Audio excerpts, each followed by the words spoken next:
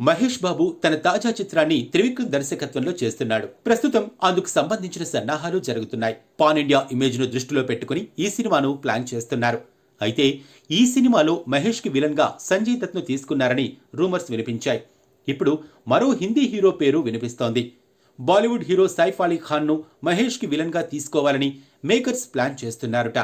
సైఫ్ అలీ ఖాన్ పాత్ర చాలా పవర్ఫుల్గా ఉంటుందట. మరి సైఫ్ అలీ ఖాన్ ఒప్పుకుంటే ఈ సినిమాపై బాలీవుడ్లో కూడా భారీ అంచనాలు క్రియేట్ అవుతాయి.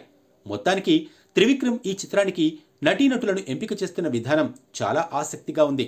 పైగా పదకొండు సంవత్సరాల తర్వాత మహేష్ త్రివిక్రమ్ కలయికలో సినిమా వస్తుండేసరికి ఈ సినిమాపై భారీ అంచనాలున్నాయి. ఇక ఈ సినిమాను తెలుగుతో పాటు హిందీ తమిళ కన్నడ మలయాళ భాషల్లో కూడా ఒకేసారి రిలీజ్ చేసేందుకు చిత్ర బృందం ప్లాన్ చేస్తోంది. హారిక అండ్ హాసిని క్రియేషన్ భారీ ఎత్తున నిర్మిస్తున్న ఈ సినిమాలో మహేష్ బాబుతో పూజా హెగ్డే రొమాన్స్ చేయనుంది.